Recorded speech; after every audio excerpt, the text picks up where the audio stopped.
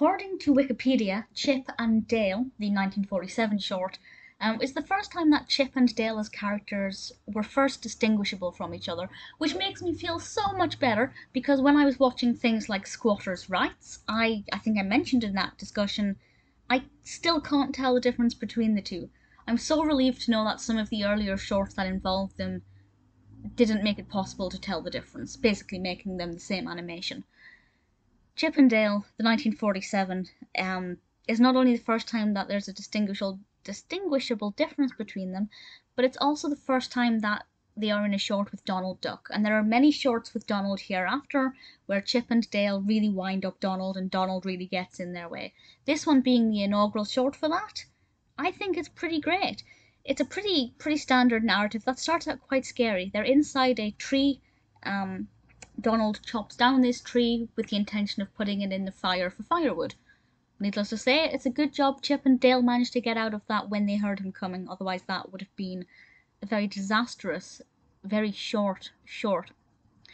And as this progresses, they are trying to gather up their nuts for the winter, while Donald Duck is trying to continue um, setting up the cabin and making it all quite cozy and warm. But then he realizes that the chipmunks are also trying to extinguish this fire.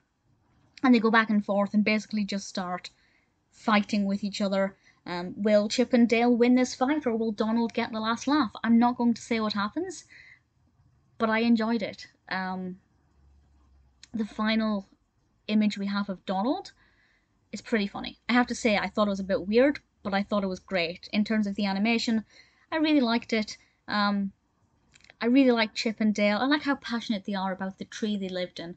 It's not just a random tree, it is their home and they want it back. Donald in their eyes, did not have the right to take it. Um, it's definitely clear you can tell Chip and Dale are very different personalities. One is very. They remind me of Pinky and the Brain, put it that way. One is um, definitely a, a natural born leader, the other one maybe doesn't follow instructions clearly or doesn't understand things all of the way. And I think that that's pretty good to have kind of distinguishable personalities as it gives them clear character traits that can kind of drive certain narratives in certain ways. For example, Chip may know what they're doing, Dale may completely just ruin the plan, and it causes a lot of hilarity. Uh, for Donald, while Chip gets increasingly frustrated, I think I've got that the right way around. Chip is the clever one, Dale is the one that's a little bit slow to follow instructions. I hope. Either way, Chip and Dale, absolutely delightful. It was um, actually nominated for the Academy Award for Best Short Film in 1948, um, as was the other Disney film Pluto's Blue Note, which I like a lot more than this, and that's really unusual that I prefer a Pluto film to a Donald film. Not the biggest Pluto fan, but Pluto, Pluto's Blue Note is, is a lot of fun. Um, but the film Tweety Pie actually won that year.